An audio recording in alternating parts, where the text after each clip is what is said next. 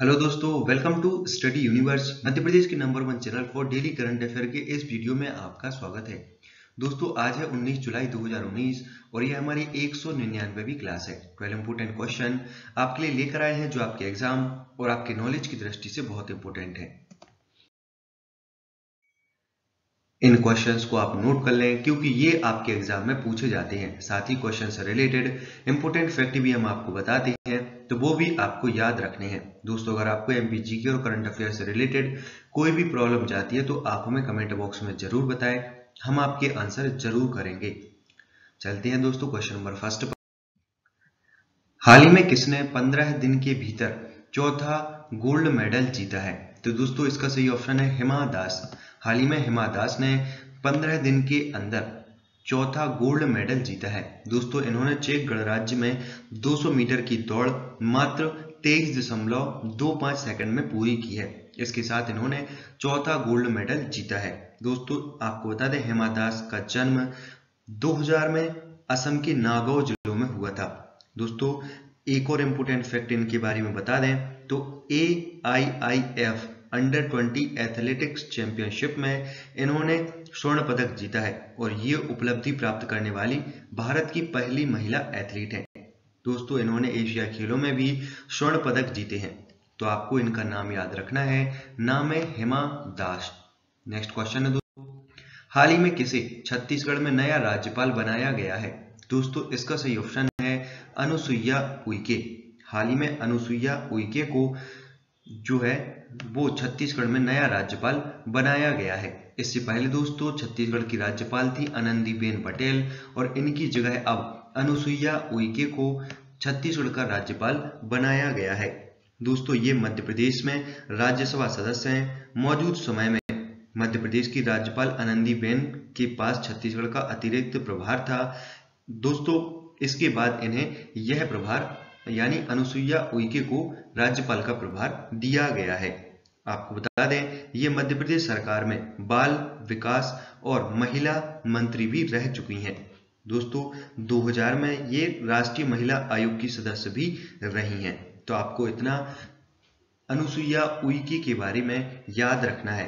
दोस्तों, अब बात आई है छत्तीसगढ़ की तो आपको मैप में छत्तीसगढ़ के बारे में बता दें। मैप में ये जगह छत्तीसगढ़ को दर्शाती है। छत्तीसगढ़ की स्थापना 1 नवंबर 2000 को की गई थी, मध्य प्रदेश से विभाजन करके। दोस्तों, यहाँ पर हाल ही में जो राज्यपाल बनी है, वह है अनुसुईया उइके। छत्तीसगढ़ के मुख्यमंत्री हैं भूपेश बघेल और राजधानी है रायपुर। तो इतना आपको छत्तीसगढ़ के बारे में याद रखना है। नेक्स्ट क्वेश्चन है दोस्तों। हाल ही में कौन आंध्र प्रदेश के नए राज्यपाल बने हैं? तो दोस्तों, इसका सही ऑप्शन है विश्वाभूषण हरिचंदन।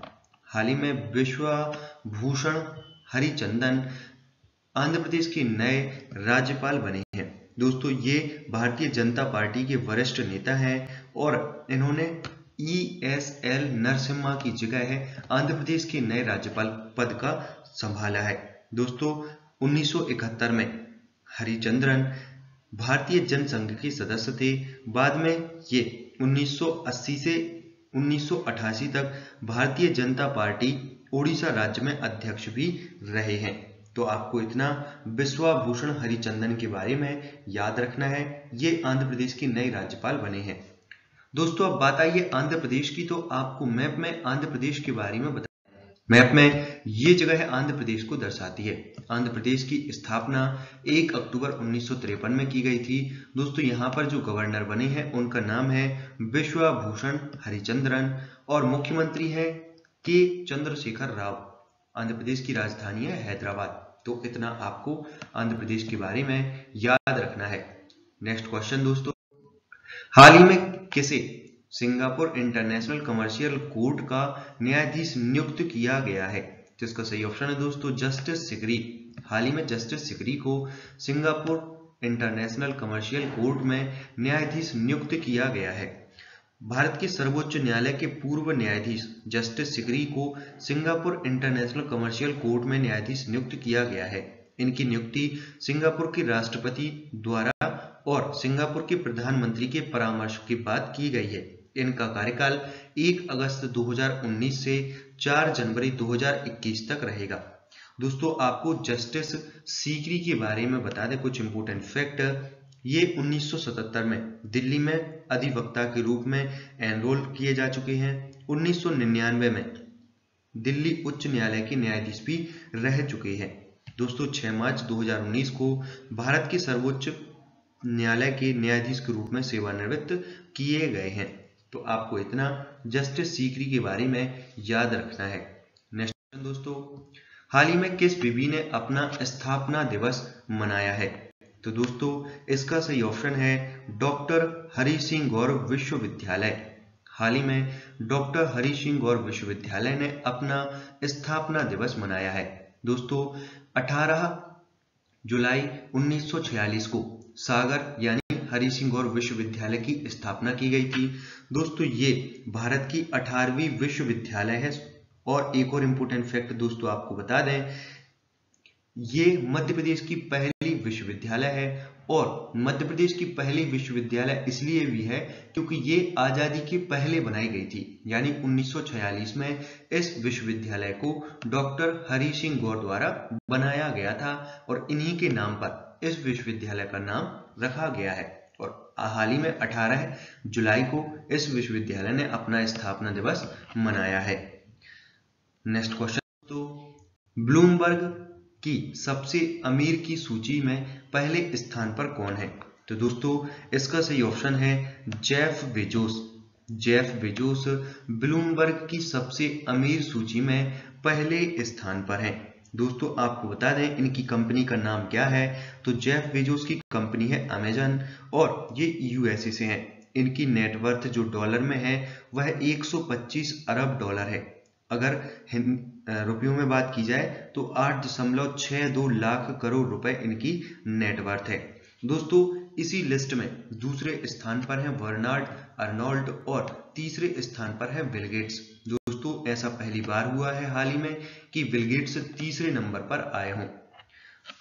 तो आपको इतना इस लिस्ट के बारे में याद रखना है। क्वेश्चन दोस्तों, हाल ही में किसे सागर संभाग कमिश्नर बनाया गया है? तो दोस्तों, इसका सही ऑप्शन है अमरपाल सह। हाल ही में अमरपाल सह को सागर संभाग का कमिश्नर बनाया गया है। दोस्तों, मध्य प्रदेश शासन के सामान्य प्रशासन विभाग ने हाल ही में ये ट्रांसफ़र किए हैं, जहाँ आईएएस अमरपाल सह को सागर संभाग का कमिश्नर नियुक्त किया गया है। दोस्तों, आपको बता दें, अमरपाल सिंह वर्तमान में कुटीर और ग्रामोद्योग विभाग में उप सचिव के रूप में पदस्थ हैं। लेकिन अब सागर संभाग के नए कमिश्नर होंगे अमरपाल सह। नेक्स्ट क्वेश्चन है दोस्तों। हाल ही में कहा राज्य स्तरीय शॉटगन चैंपियनशिप का आयोजन किया गया है? दोस्तों, इसका सही ऑप्शन है भोपाल। हाल ही में भोपाल में राज्य स्तरीय शॉटगन चैंपियनशिप का आयोजन किया गया है। दोस्तों, भोपाल में नौवीं राज्य स्तरीय शॉटगन चैंपियनशिप आयोजित की जा रही है। दोस्तों, इसमें जूनियर और सीनियर दोनों कैटेगरी के छात्र हिस्सा ले रहे हैं। अब दोस्तों, बात आई है भोपाल की तो आपको मैंने कुछ इंपोर्टेंट फैक्ट भोपाल के बारे में बताए थे। आप वीडियोस को वीडियो को पॉज कीजिए और उन इंपोर्टेंट फैक्ट को याद कीजिए। चलते हैं नेक्स्ट क्वेश्चन पर हाल ही में किसे भोपाल संभाग का अपर आयुक्त बनाया गया है? तो दोस्तों, इसका सही ऑप्शन है प्रीति जैन। हाल ही में प्रीति जैन को भोपाल संभाग का अपर आयुक्त बनाया गया है। दोस्तों, आपको बता दें, प्रीति जैन राजस्व परीक्षण शाला इंदौर में प्राचार्य थी। लेकिन अब ये सागर भोपाल संभाग की अपर आयुक्त होंगी। दोस्तों, स्क्रीन पर आपको कुछ और नाम दिख रहे होंगे, इनके बारे में भी बता दें। तो तनवी हुड्डा। दोस्तों, इन्हें हाल ही में मंडला जिला पंचायत का सीईओ बनाया गया है। वहीं बात करें रितु बाफना की तो इन्हें हाल ही में सतना जिला पंचायत का सीईओ बनाया गया है। और बात करें राम प्रताप सह जादौन की तो इन्हें दोस्तों हाल ही में जबलपुर अपर आयुक्त बनाया गया है। तो इतना आपको इन चारों के बारे में याद रखना है। नेक्स्ट क्वेश्चन दिल्ली में सबसे ज़्यादा सौर ऊर्जा पैदा करने वाली बिल्डिंग कौन सी है? तो दोस्तों, इसका सही ऑप्शन है सुप्रीम कोर्ट की बिल्डिंग। हाल ही में सुप्रीम कोर्ट की बिल्डिंग दिल्ली में नई बनाई गई है, जो सौर ऊर्जा उत्पन्न करने में दिल्ली में पहले स्थान पर है। दोस्तों 12 एकड़ में यह इमारत बनाई गई है और पाँच ब्लॉक हैं इसमें। कुल आठ करोड़ रुपए में यह बिल्डिंग बनाई गई है। दोस्तों, आपको बता दें 1400 किलोवाट सोलर ऊर्जा पैदा करती है यह बिल्डिंग। दोस्तों, आपको बता दें 40 प्रतिशत खुद के इस्तेमाल में खर्च की जाएगी बिल्डिंग की, जो सौर ऊर्जा होगी, वह। तो आपको याद रखना है, दिल्ली में सबसे ज़्यादा सौर ऊर्जा पैदा करने वाली बिल्डिंग है सुप्रीम कोर्ट की नई बिल्डिंग। नेक्स्ट क्वेश्चन किस नदी पर मध्य प्रदेश का पहला जल विद्युत केंद्र बनाया गया है?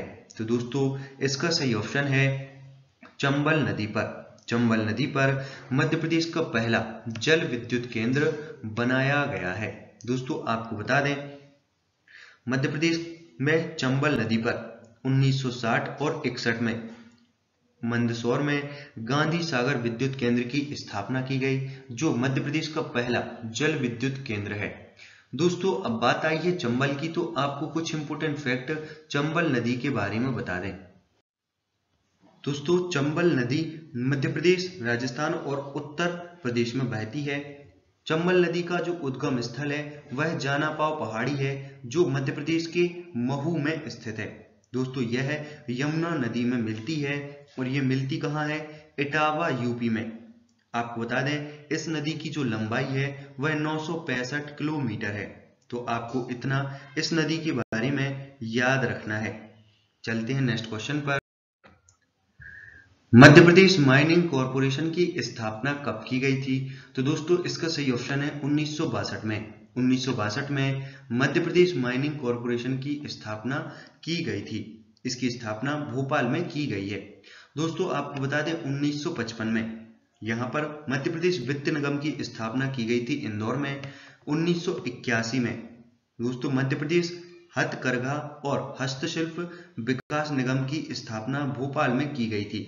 1976 में 1976 में भोपाल में मध्य प्रदेश हैंडलूम संचालय की स्थापना की गई थी। दोस्तों, आपको एक और इम्पोर्टेंट फैक्ट बता दें। इंदौर में मध्य प्रदेश वस्त्र उद्योग निगम है, जो 1970 में बनाया गया था, और मध्य प्रदेश वित्त निगम 1955 में इंदौर में बनाया गया था। इसके अलावा, दोस्तों, जो भी मध्य प्रदेश विकास निगम जैसे औद्योगिक विकास निगम, लघु उद्योग निगम, खादी और ग्राम उद्योग बोर्ड, माइनिंग कॉरपोरेशन हस्तशिल्प मंडल इन सभी की स्थापना दोस्तों भोपाल में की गई है।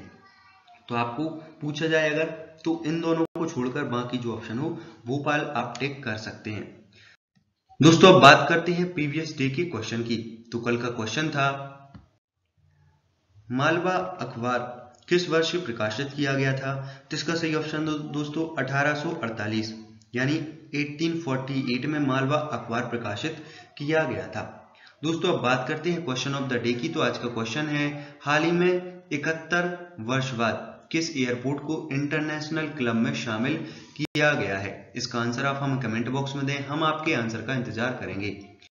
तो दोस्तों, आप हमारे चैनल स्टडी यूनिवर्स को सब्सक्राइब कीजिए वीडियोस को लाइक कीजिए वीडियोस को शेयर कीजिए और ज़्यादा से ज़्यादा चैनल को सब्सक्राइब कीजिए। आप चैनल को सब्सक्राइब नहीं कर रहे हैं और वीडियोस को भी शेयर नहीं कर रहे हैं। कृपया वीडियो को शेयर ज़रूर करें। तो आज के लिए बस इतना ही दोस्तों नमस्कार हैव अ नाइस डे